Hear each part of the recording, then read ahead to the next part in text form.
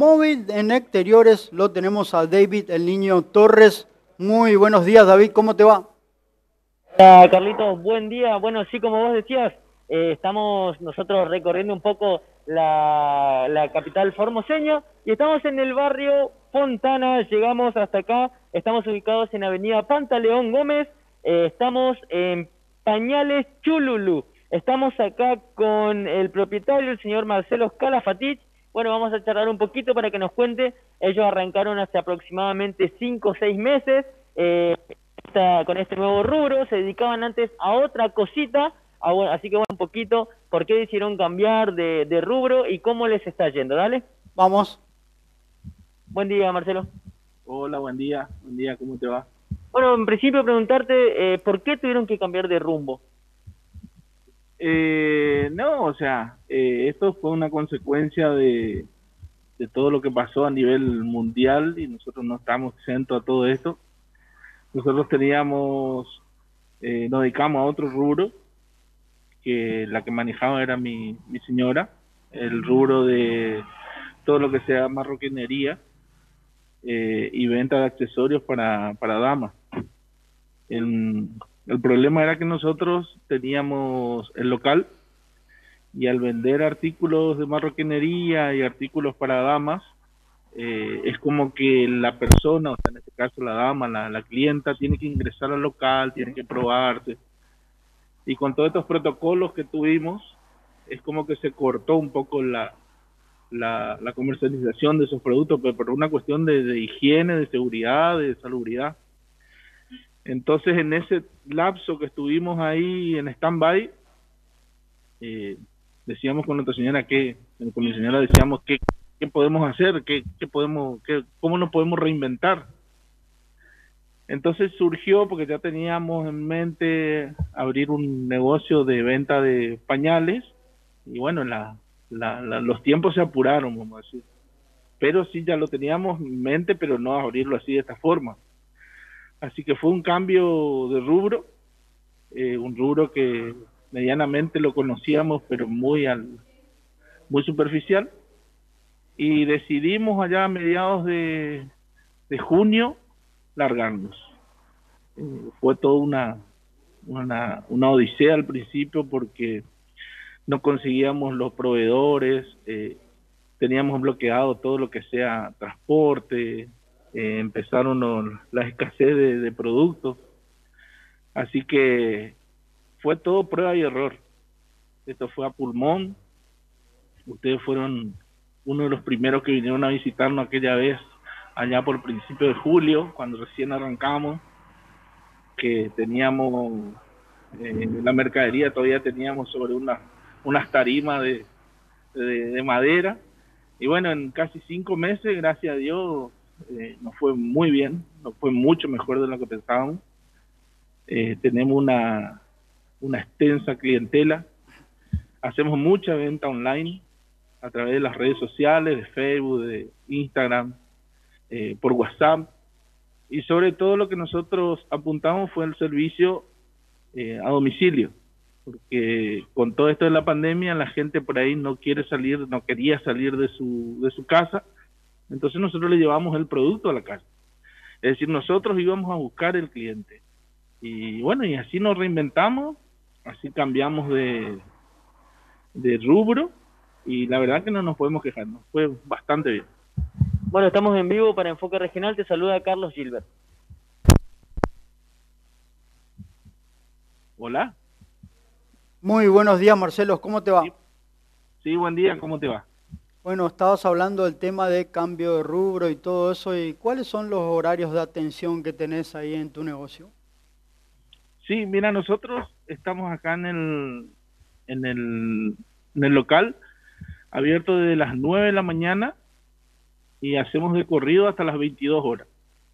Esto como, como ya habíamos hablado anteriormente, es un emprendimiento familiar, así que nos, nos turnamos acá para atender eh, tenemos una vía de contacto a través del, WhatsApp. Pero sí estamos de corrido de lunes a lunes. Eh, sábado, domingo, feriado. Entonces, tratamos de que, de que el cliente encuentre lo que busca. porque el cliente de lo que sea la parte de pañales es un cliente muy especial y eh, el tema es que a veces le agarra justo en una urgencia. Y nosotros tenemos la experiencia por, por haber tenido chicos de lo que es estar buscando pañales un sábado, un domingo, un feriado. Entonces apuntamos a, apuntamos a ese a, a ese tipo de clientes. Y habló también el servicio de delivery que es fundamental justamente en estos tiempos. Exactamente. Servicio de libre tenemos nosotros, eh, llevamos a todos los barrios. No, no, no nosotros no somos eh, eh, un negocio de que vamos a, a decirle al cliente, mira, te cobramos hasta tal avenida un precio, hasta tal barrio otro precio. No, nosotros mandamos a todos los barrios.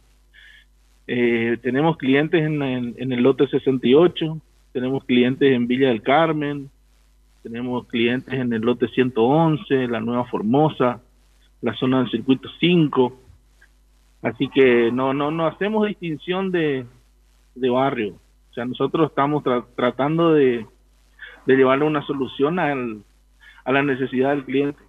Esa, esa es nuestra, nuestra, nuestra meta, nuestro objetivo. Sí, eso es muy importante, Marcelo. ¿Y qué otros productos venden ahí? Estamos viendo eh, que tienen muchas cositas. Sí, nosotros en principio eh, teníamos habilitado solamente como venta de pañales. Y ahora, con todo esto, este movimiento que tuvimos, gracias a Dios que nos fue bastante bien, ya tenemos habilitado lo que sea eh, venta de artículos de perfumería y artículos de para bebés. Así que lo que le ofrecemos, aparte de los pañales, estamos ofreciendo en la línea de perfumería para bebés, eh, sanitizantes, eh, vendemos alcohol en gel, alcohol etílico, hisopos, jabones, colonias para bebés. Es, es, orientado, está orientado directamente a la a solucionar el, la necesidad de, de, los bebés, de la mamá, de los papás en este caso, porque por ahí, viste, vienen los, los papás sobre todo, somos medio despistados en esto, y entonces tratamos de orientarle también a los, a los papás. Mi señora más, más que yo, que es la que más experiencia tiene, entonces es un negocio eh, de amigos, vamos a decir, porque no son, clientes, son amigos porque después ya te pasan la foto de los, de los bebés, te cuentan que te cambiaron de pañal porque te creció el bebé, que los primeros pasos que da, que, que empieza a hablar, o sea, tenemos amigos, no tenemos clientes. Y Marcelo, entonces eh, este rubro eh, colmó las expectativas, superó todo eh, con lo que está diciendo. Y la verdad que sí, la verdad que sí. Sí, eh, nosotros teníamos proyectado, viste, que uno por ahí en mente tiene hacer algo, viste, que a veces tiene algo utópico en la mente, pero yo creo que, que estamos ahí, viste, en, en, en aquel proyecto inicial, creo que, que, estamos cerca de lo que queríamos tener. Eh, lo que por ahí eh, vendría bien es aprovechar que ustedes son un medio masivo de comunicación y comentarle a las, a las autoridades no, no, no soy quien para dar un consejo, sino una sugerencia de que el movimiento comercial está en la parte privada.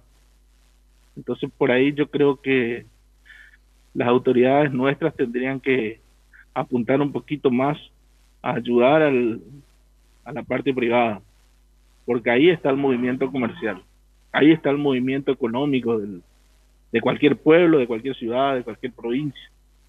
Entonces, esta extensión de horarios, por ejemplo, pues nosotros teníamos hasta las 20 horas y ahora nos extienden hasta las 22, nos ayudó muchísimo, muchísimo, muchísimo. Por ahí son dos horas que uno dice, no, son dos horas más. Pero dos horas para nosotros, para el privado es mucho, muchísimo. Así que yo creo que no nos podemos quejar, nos vino bien y ojalá sigamos en este camino.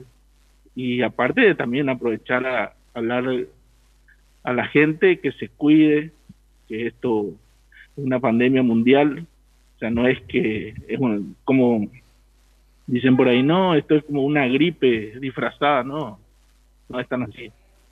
Eh, por eso te digo, aprovechar para hablarle a las autoridades de que le den un poquito más de manija a la parte privada, pero también que la gente se cuide. Ese sería el, el mensaje un poco de, de parte de nuestro humilde comercio. Bueno, Marcelo, muchas gracias por su tiempo y que le vaya bien en los próximos meses. Bueno, muchísimas gracias a ustedes por acompañar siempre al, al pequeño comerciante, siempre estar con nosotros. Y así que están invitados para cuando quieran. Y cuando pase toda esta pandemia, tenemos pendiente todavía la, la, el festejo en la inauguración del negocio, así que son los primeros que van a estar invitados. Bueno, muchas gracias. Gracias a vos. Muchas gracias, Marcelo. Bueno, Carlos, y así más o menos cómo se encuentra la... Bueno, pañales chululú, es como... como... Ah, me gustaría preguntarle eh, primero a usted, ¿sabe lo que es eh, el chululú? No, no. ¿No? ¿No sabe lo que es? Bueno, pues le, yo tampoco le vamos a preguntar a Marcelo. Bueno. Para que nos, nos cuente más o menos por qué el nombre chululú. Sí, eh, es, me causa gracia porque eh, es la pregunta del millón. O sea, todos vienen y preguntan qué significa Chululú. Y Chululú tiene, tiene dos motivos el nombre. Eh, primero porque Chululú es un pajarito que habita en la zona de Brasil, la zona del Amazonas. Es un pajarito chiquitito, muy diminuto, que dice que está acostumbrado a cuidar a los otros pichoncitos. O sea, un pájaro que va a los otros nidos y cuida pichoncitos de, de, otras de otras aves, vamos a decir.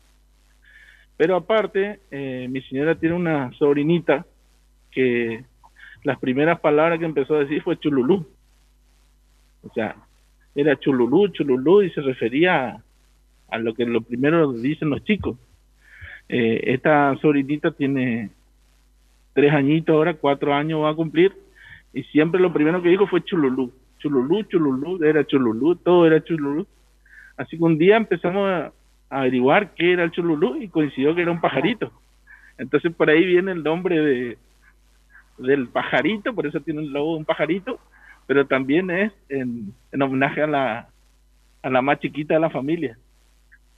Bueno, muchas gracias, que espero que les siga yendo bien. Eh, bueno, nosotros fuimos, como vos decías, uno de los primeros cuando vinimos, cuando recién empezaba todo esto, y la verdad que creció muchísimo. Así que éxitos y espero que le vaya muy bien.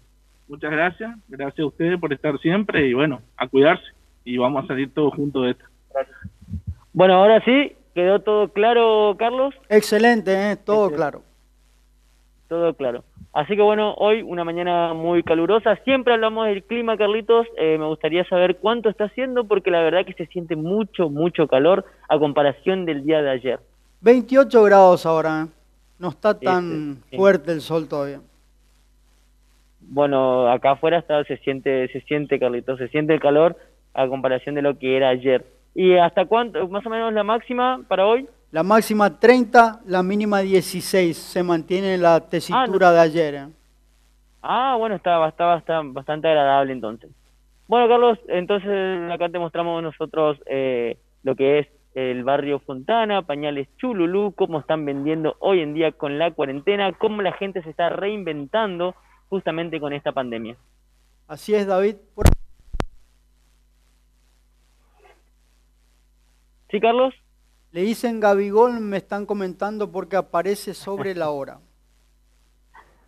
Bueno, eh, la verdad que un apodo que no, no me agrada mucho, pero bueno, si la gente quiere poner ese apodo.